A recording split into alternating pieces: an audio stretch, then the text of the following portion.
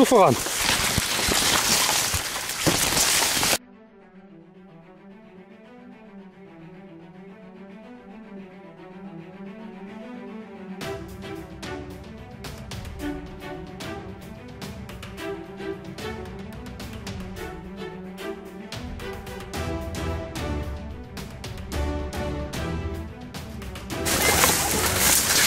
Ja.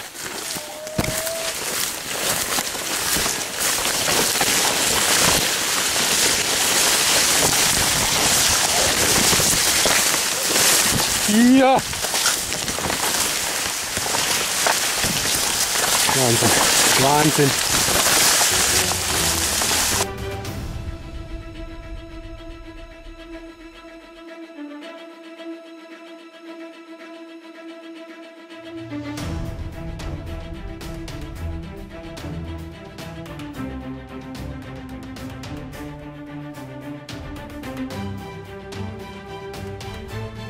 So, hallo Leute.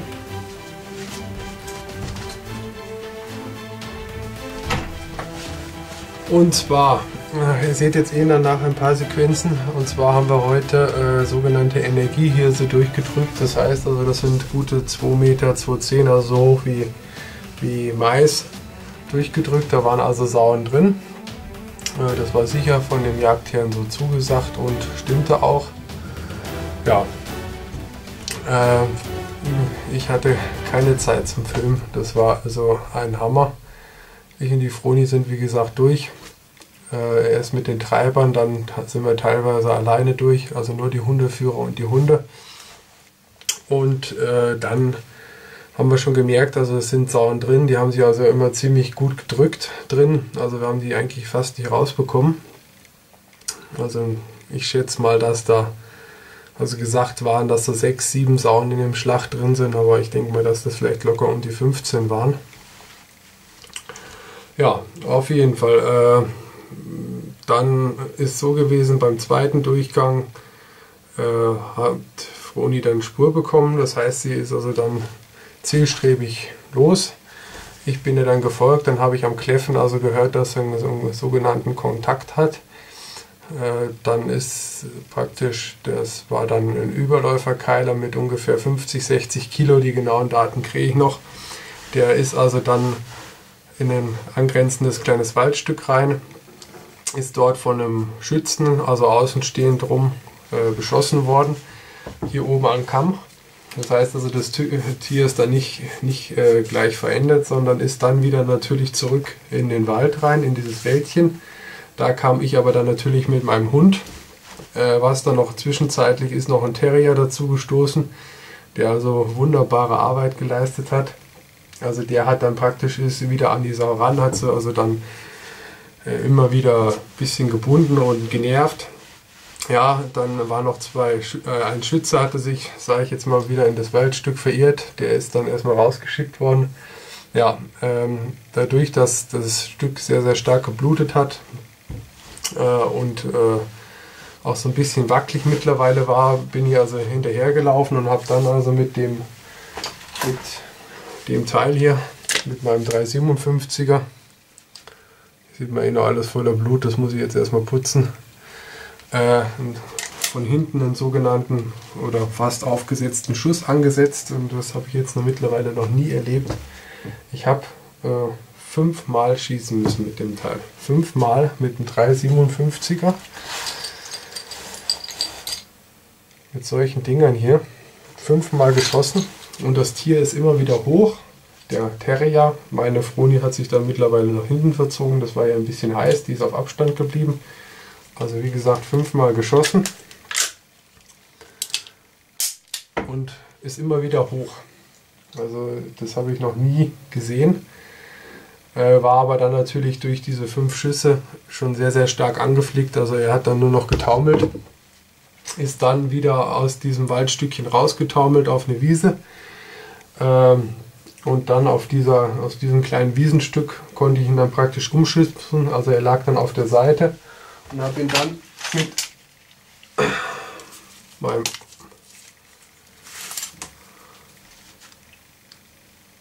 mit meinem Hirschfänger abgefangen bin also dann seitlich hinter der Schulter rein, unter der Schulter durch und habe dann praktisch die Klinge mehrere Male hin und her bewegt und dann war wie gesagt auch Feierabend. Also so schaut das dann aus, das müssen wir jetzt alles mal ordentlich sauber machen. Also wie gesagt wirklich ja, war stressig. Und wenn du dann so ein Tier mit 60, 70 Kilo hat, hast, was dann hier, sieht man, die ganzen Gummiringe sind alle nach unten gerutscht vom Zustoßen. Wenn so ein Tier dann natürlich um sein Leben kämpft, da hast du dann schon richtig Bammel.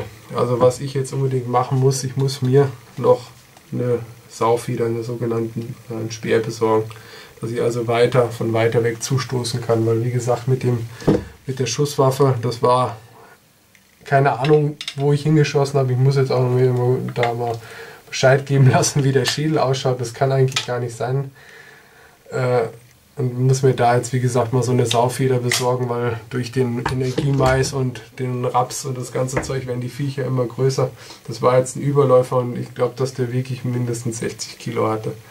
Und äh, wenn du mit so einem Tier dann ringst, das ist schon eine andere Hausmarke als irgend so ein Frischling.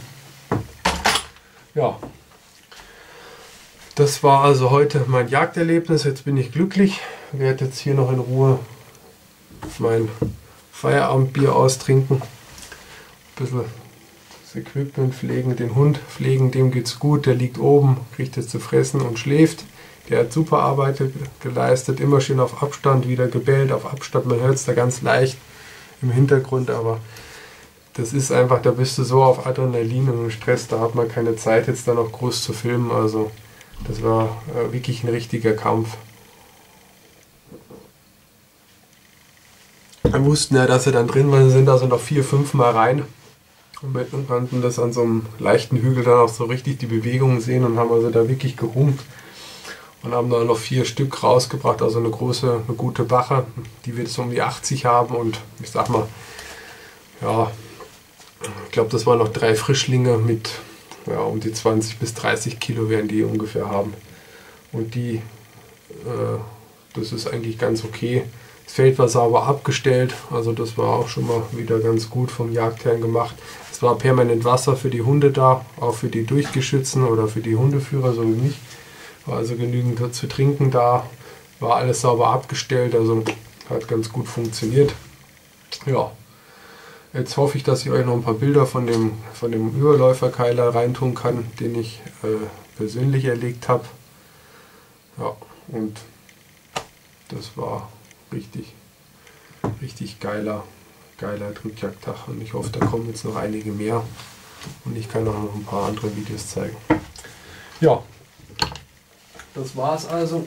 Drückjagd im Mais, Sauenjagd. Vielen Dank, macht es gut. Euer Waldläufer.